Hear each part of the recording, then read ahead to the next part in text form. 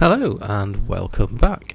And this is for another lap and test. And as ever, we are starting with the offer vehicles. And this week, the offers have given me some interesting laps to do. So let's see how this goes, and that's obviously how this one is going to go. So we're going to start with this, which is the BF Weevil. So this is, my god, um, on offer this week.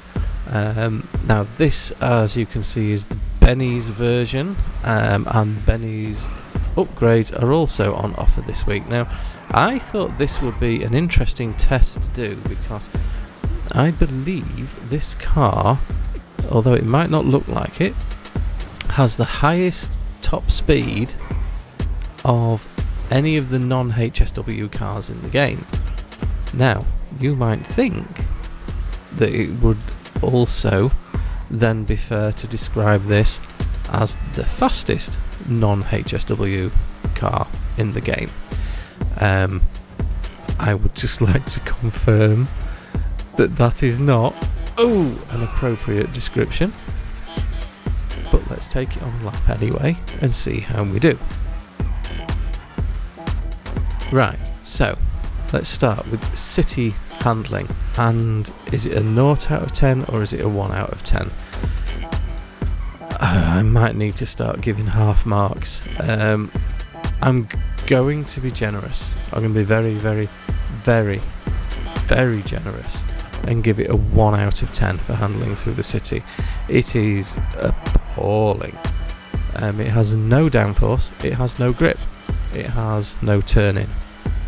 It has both horrific understeer, like that, which is when you turn the wheel and nothing happens, and it has horrific oversteer at the same time.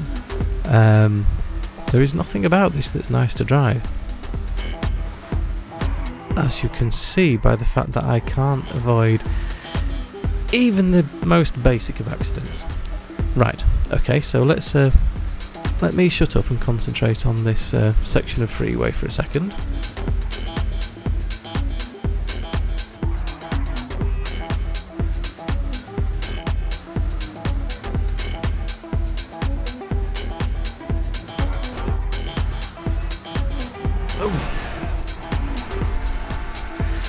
Not holding out much hope for a decent lap time. This thing is almost undrivable. So, yes, it does have, according to the stats, a very, very high top speed. But what that top speed doesn't tell you is the scale of the compromise that you have to take on the handling, which makes that top speed almost unattainable. And there I was practically stationary before going around that corner, and I still lost the back end after understeering into the corner. Right, so let's just get around this top section of the map. So again, downforce. One. um, it, it's able to move forward, so I can't really give it zero, but it is almost totally undrivable. It's doing, it's actually, now that I say that, mm, it's actually doing okay on this section. So let's get round to the top speed and see how we do around there.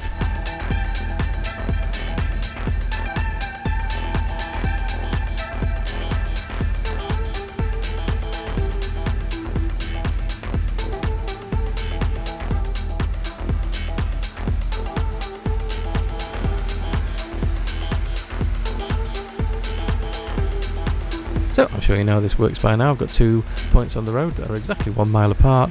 Floor it between them and record it and see how, see what we manage to hit. And hopefully that doesn't mean hitting all of the other cars.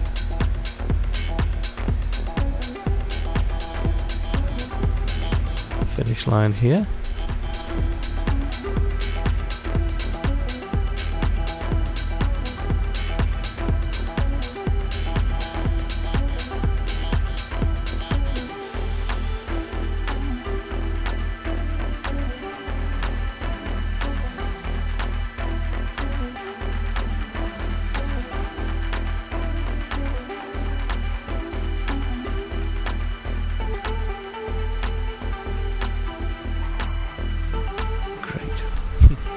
Okay, so um, as we come to the bit that is presumably going to be an utter disaster, let's go through the actual review of this car. So, should you buy it? Because it is on offer this week, and the Benny's upgrades are on offer too.